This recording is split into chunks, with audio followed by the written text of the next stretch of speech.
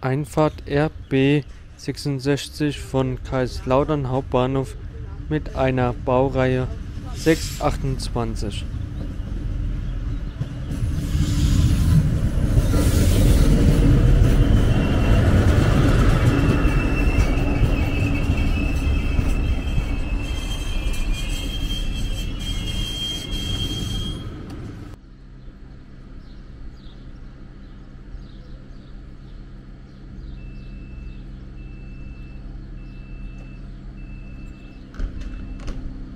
Die RB 66 fahrt nach Kaiserslautern Hauptbahnhof mit einer Baureihe 628 aus